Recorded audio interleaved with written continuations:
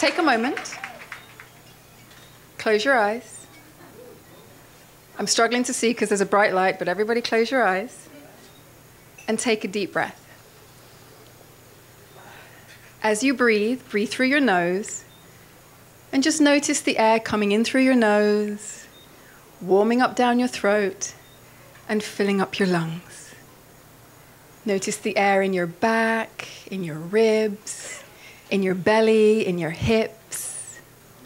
And then as you exhale, just allow your shoulders to release and relax. And then open your eyes and have a look at all the colors. Three years ago, I took a moment. Heartbroken, empty, disorientated, and without meaning, I felt like my life had stopped breathing. So I pressed pause, and I inhaled, and I exhaled, and I took a moment and decided to make a change. And when the, lo- when the job I loved became the thorn in my side,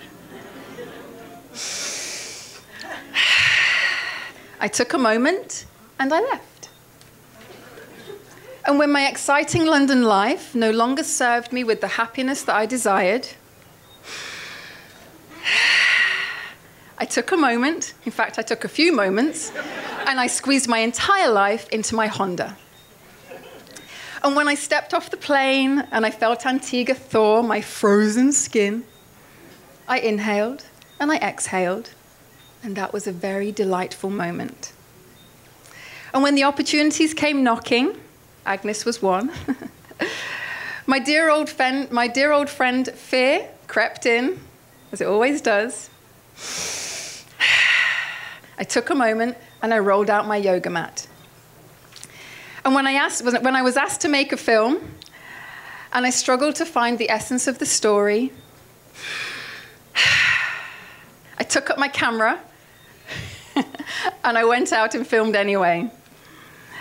And now, when I feel drained, and I think I'm going to fail, and I think I'm going to fall,